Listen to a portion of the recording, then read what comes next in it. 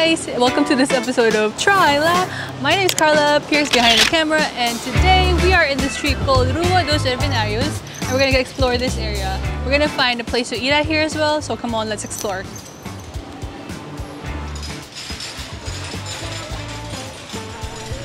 If you've never heard of the street before, it's about time you did.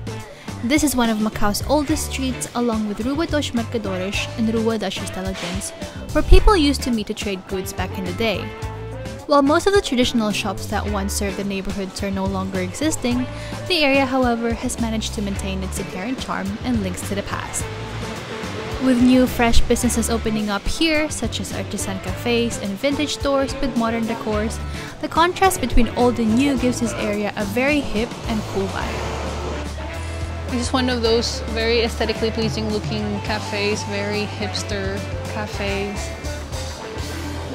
This is another interesting shop right here. Lost and Found. So they have a coffee antique, vintage loft on the second floor, and they have a rooftop coming soon. I'm not sure what's the rooftop.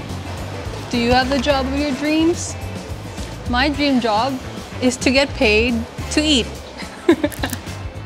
Honestly, exploring the area made us feel like we're tourists in our own city, seeing many new shops and things for the very first time. Have you tried this before? I've never tried this before. Interesting. Salted citrus pickled. I'm really curious. What is it? I'm eyeing this particular store. I'll probably come back and um, buy a few candles there. Go check it out guys, they have some Taiwanese candles. After exploring the area, consequently looking for something to eat, this stall that offers Arabic food is what caught our attention. Okay, so this is the place we're gonna eat at. It doesn't have a name yet, so I guess they're new, but it looks really good. So we're gonna go and try it out. I'm gonna have a shawarma and Pierre's having a burger. So we're waiting for our food right now. And we saw some really nice like areas to sit at over there. We're gonna show you in a little bit. Once we have our food, we're gonna go to that place. So we're here. This is the place that I'm talking about. I didn't know how to explain how the tables look like, so now you can see it.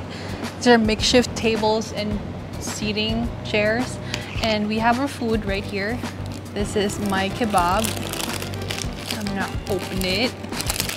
So excited. Ooh, look at that. No? Can't see? Never mind then. you want to show them your burger? This is Pierre's burger. Wow, that's a lot of sesame seeds on the bun. So this is a beef burger and you got the spicy one. Spicy beef burger.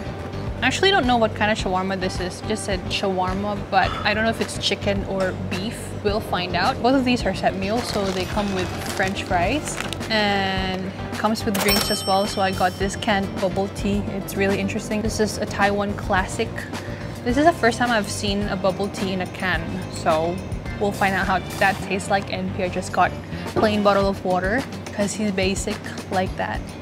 Basic, basic. All right, bon appetit. Let's eat. I'm gonna try this one first. Mmm. First thing I taste is ketchup. it's actually chicken, chicken shawarma. Ketchup is very tangy. It's like overpowering everything. Okay, now I taste the shawarma. I think he put too much ketchup on this side. It's really overpowering everything else. And he said the shawarma is supposed to be spicy, but I don't think it said spicy. I don't like taste the spiciness. It's definitely just like a lot of ketchup. There's cucumber, there's like vegetables, there's pickled vegetables, and of course, chicken shawarma, but a lot of ketchup. I'm gonna try the burger. Mmm, this burger is spicy. Or I think it's the sauce that's spicy. It's nice. Wow, let me get one more bite. I have to say that the bun is a little dry, but the patty is good and I like the sauce. The sauce is really spicy. I think you're gonna like this. It's decent. It's not that bad. I wouldn't say it's too great as well, but it's not bad. It's still good. I'll try it. I think it's the same sauce that they put in the burger. This one right here that we have on the side. This is for, for the french fries, right? For, for anything? Let me try it with french fries. Yeah, it's the same kind of sauce. It's spicy. Mmm, I like this sauce. Mmm. I should have used this in the shawarma instead of the ketchup. I think I'm gonna do that. I'm just gonna put some of these into that to give it a bit of that extra kick. Oh, that's a lot.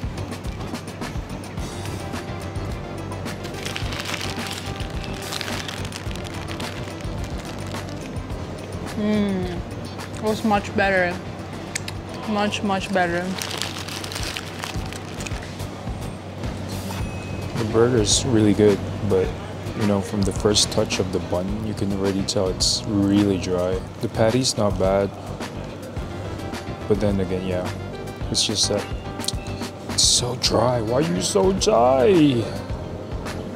Guys, we don't have any complaints, okay? It's just, just eat, okay? Just eat. Don't complain, just eat. if you guys are gonna come and try this shawarma or the burger or pretty much like I guess anything that is from that restaurant, I recommend you get one of these.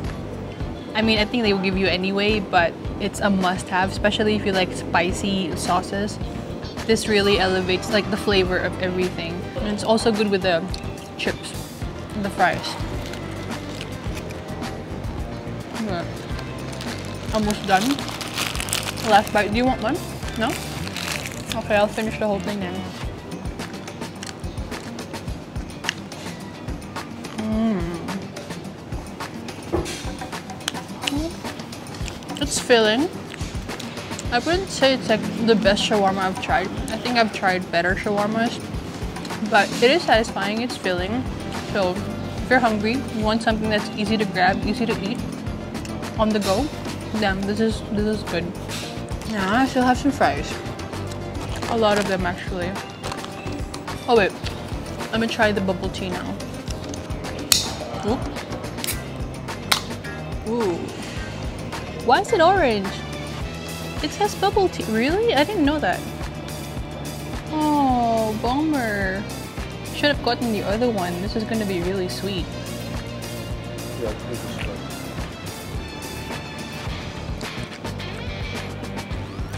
Tastes very fake. I don't know. It Doesn't taste like the classic Thai milk tea. It Doesn't taste like bubble tea as well. Very fake. Oh well, now we know. I tried. I'm not gonna waste it. I'm still gonna drink it. Just not all the way because it has 187 calories. So I'd rather eat than drink my calories, if you know what I mean.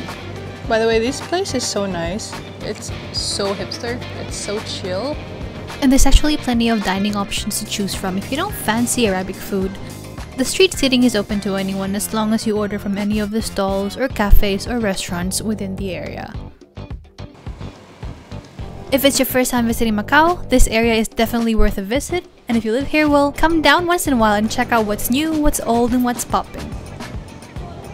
Alright guys, thanks for watching this episode. If you like it, make sure to give it a thumbs up, leave a comment in the comment section down below, and of course, don't forget to subscribe to this channel and hit the notification bell as well. We'll see you in the next one. Bye.